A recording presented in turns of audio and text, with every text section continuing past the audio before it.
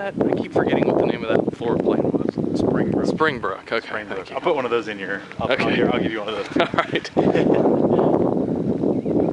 What's the? What, when did you guys start building here? Uh, a little over five years ago, Okay. I believe it was. Maybe it might even be closer to six years by now. Gotcha.